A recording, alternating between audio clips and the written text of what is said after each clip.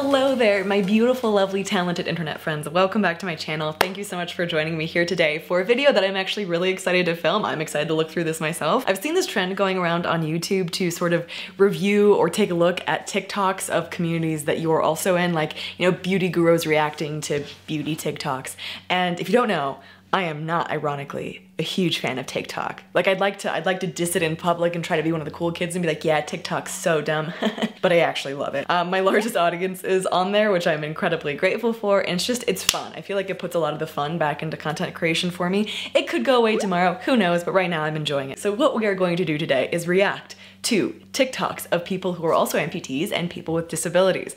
I'm really, I'm really looking forward to this. I follow quite a few other amputees on TikTok, but I looked, I took a quick look at like the top videos of the hashtag amputee hashtag, and I actually hadn't seen a lot of the people, so I saved my reaction for going through this with you guys right here at first. If you don't know me, my name is Jo. I am uh, missing a meat foot, a human foot. It's replaced by a nice plastic one filled with carbon fiber. And here on Footless Jo, I like to make videos about my life and the aftermath of becoming an amputee, dealing with loss, and larger subjects that I like to talk about. So let's have a little bit of fun today and go through amputee TikTok. I do want to say for some of these TikToks, I'm going to have to blur out or replace the sound because of copyright issues here on YouTube. But if I have to do that, you'll get the general idea regardless. So I know how hard social distancing has been on you, so I have made you something I like to call the six feet cheat.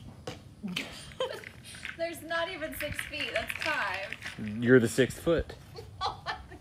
Yeah, you. Okay, so if you don't know Rebekah Gregory, she is absolutely delightful. I adore her content. She's a fantastic human being. She's a survivor of the Boston Marathon bombing, lost her leg, and makes really ridiculous and silly, sort of like dad joke type TikToks. Rebecca, I hope you don't mind if I say that, but your jokes are just so perfect. I absolutely adore them. And frankly, I may have to build myself this handy dandy six foot cheat, but I only actually have two of these, so I wouldn't get too far with it. Oh man.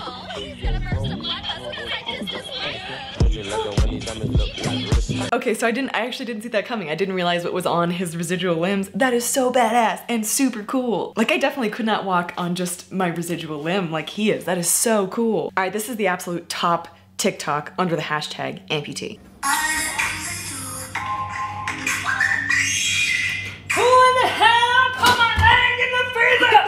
Okay, so there's this trend going around with this audio that's like, who put the muffins in the freezer? This one's much better with who put the legs in the freezer. By the way, I know that Alyssa, the creator of this video, has a YouTube channel, which I will link down below. Go check it out, she's pretty cool.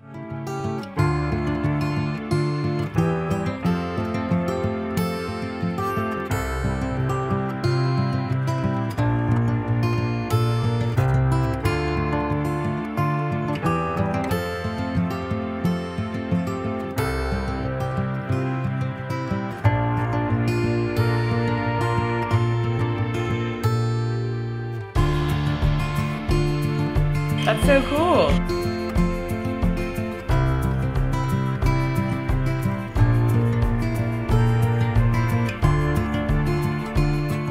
Do you remember years ago when the sign videos were everywhere on social media? I really like those. I think it's a great way of saying something and using your voice, whether or not you want to use your actual voice. Um, this is this is really awesome. I think that whole concept of feel sorry for people with disabilities or feel sorry for people who are amputees is very alive and well. And here's the thing, I think feeling sorry for someone is kind of natural. It's a it's a human reaction, right? But it's also not a particularly helpful one if we examine it a little bit deeper. Instead of feeling sorry for someone, I think getting curious about their life, asking if you can ask questions, engaging with them as a person is so much more uh, meaningful and builds connection instead of just building a wall of, oh, poor you, let me pity you. Hi everyone, my name is Michelle. I'm an upper extremity below the elbow amputee, and I'm gonna show you guys how I put my hair up with one hand. One of my good friends, Alexis, who came to stay with me, we did that visiting Ikea and trying to assemble a desk with three hands and three feet total video. Check it out if you haven't seen it already. But she showed me how she does this with one hand and it's actually pretty cool. So let's see how Michelle does it. so you start by taking your Invisibobble and putting on your arm, flipping your hair over, getting all the bumps out. I'm going on a run, so I'm not really worried about it being too neat or too cute. Um, also, why I'm in my running outfit. Um, just want to make sure it's tight enough so it's not flopping around. Give a little poof. There she goes. Perfectly executed, Michelle. That ponytail looks better than most of mine.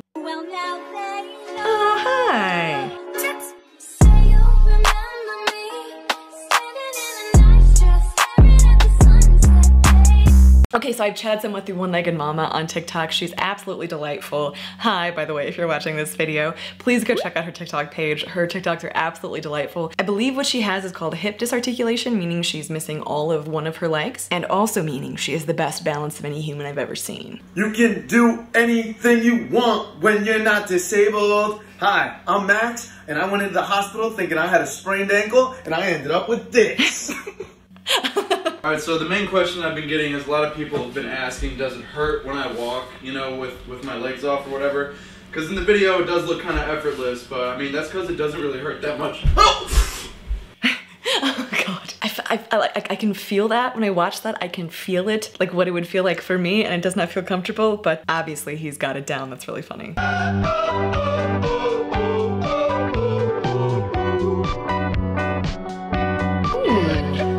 That's the same stuff that they use to make uh, this part right here on my leg.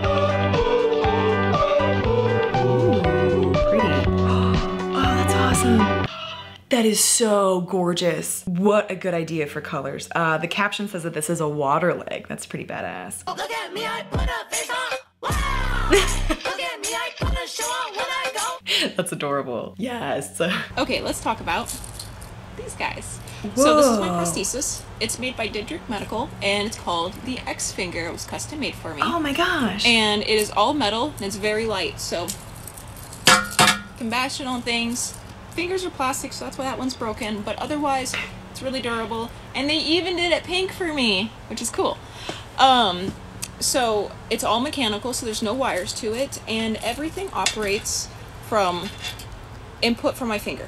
This is so cool. So as I raise and lower my finger, it moves these rollers, which in return moves the finger individually. So all I have to do is slip it on, strap it up, and I have full independent control of my fingers. This is so cool. and if that's not the coolest thing you've seen today, then you're lying. I'll be honest, that is the coolest thing I've seen today, so yeah. Show. That's how I presently play drums. I'm really bad at music, just at music in general, no skills.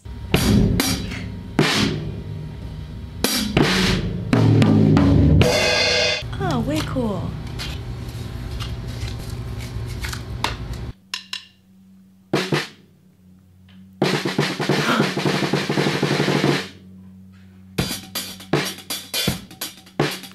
So cool. That's absolutely amazing. The perks of having a fake leg, part two. Oh. Ah, ah, ah, oh, oh, oh, ah, ah, ah. Almost there, almost there, almost there. Have a break. okay, let's go. Okay, that's so that's so legit too. I'm not gonna lie, that is a serious perk of having one foot that you cannot feel. Walking on hot pavement or cement, or walking over rocks. I had to do that the other day, and uh, I was able to do it mostly with with the the foot that doesn't feel the rocks.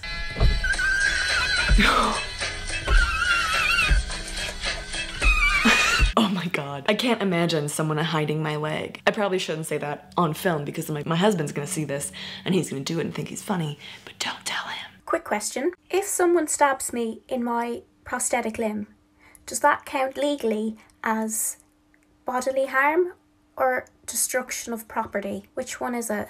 Okay, but that is a really good question. If someone steals my leg, what does that account to legally? Like, like what does that add up to? Because that seems a little more serious than uh, than like stealing a book or even a car, considering that this costs more than most cars. This prosthetic has got me into some awkward situations. How this works is there's a little metal ring right here, and if I twist it all the way to the right, it allows me to swivel my hand around. If it's in the middle, then it's locked. But if it's all the way to the left, then I can pull this hand out. So I go shopping and I'm wearing a long sleeve shirt like this, so it covers up my prosthetic, and this looks kind of real. Well, it did until my dog got a hold of it and chewed the fingertips off. Talk about biting the Okay, hand that you and me both, man. Uh, a, a dog chewed my prosthetic foot, so there's no way it looks real anymore. Or it just has some like cool scars, you know?